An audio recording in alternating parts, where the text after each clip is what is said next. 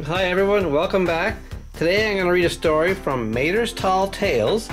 There's three books in here. We've already done the first two, and the last one is El Matador. And this is special because I actually have El Matador. There is Mater with his Mater Matador outfit on. So let's get set up and start reading the story of El Matador. I want to thank everybody for tuning in to watch our videos. You guys are liking these uh, reading aloud storybooks. Appreciate that. And it's it's even better because I actually have El Matador here, so it's pretty cool. Okay, that looks like Lightning and Mater out for a stroll next to all those big, big dozers. Mater and Lightning McQueen were driving down the road when they passed a group of grazing bulldozers. You know, said Mater, I used to be a famous bulldozer fighter in Spain. Hmm. They called me El Matador, Mater declared proudly. Look at that. It looks like him. Bulldozer fight. Are they the same bulldozers as these guys? I don't think so. These guys are like grass cutters. The crowd cheered whenever El Matador entered the arena. He was the bravest bulldozer fighter there ever was. Everybody loved El Matador. He was fearless. Anyone who looked into his eyes knew that he simply couldn't be defeated. Looks pretty confident. Uh-oh. When the bulldozer entered the arena, a hush came over the crowd. The bulldozer snarled and charged El Matador. El Matador waved his red flag, then he calmly pulled it up at the very last moment, easily dodging the raging machine. El Matador enjoyed the cheers from the crowd. The bulldozer snuck around and charged El from behind. The bulldozer buried El in dirt.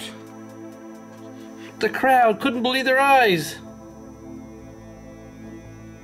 Was this the end of El Suddenly, El hook popped out of the dirt, catching the red flag. El was alive. The crowd cheered.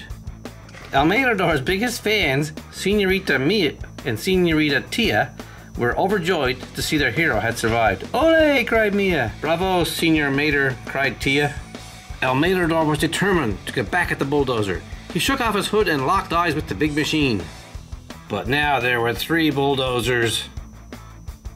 Yikes! Would even the great El Matador be able to survive against three bulldozers?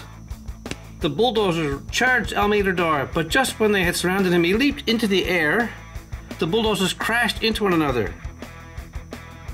Ole! said El Matador, standing proudly atop the defeated bulldozers. Ole! Bravo, Senor Mater! cheered the crowd.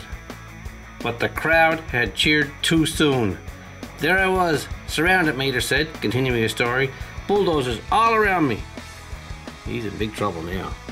What did you do? asked Lightning McQueen. What did I. Well, don't you remember? You were there too, replied Mater. They sure like your fancy red paint job, Mater told Lightning. Ah! screamed Lightning as the bulldozer chased him all around the arena. Mater, said Lightning, that did not happen. Well, Try telling that to them there bulldozers, said Mater. Huh? asked Lightning. Suddenly he noticed they were surrounded by bulldozers. Ah! screamed Lightning as he raced off with the bulldozers right on his tail. Where did they come from? Just then, two of Mater's biggest fans arrived. Senoritas, said Mater, tossing on his Matador hat. Ole! Then the three cars drove off in search of new adventures, and maybe even a tall tale or two.